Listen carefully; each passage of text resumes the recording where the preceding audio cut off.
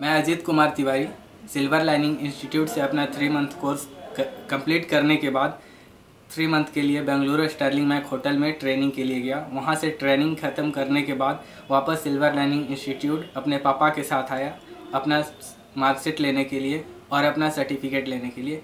मेरा job Suryagarh palace Jaisalmer में हो चुका है।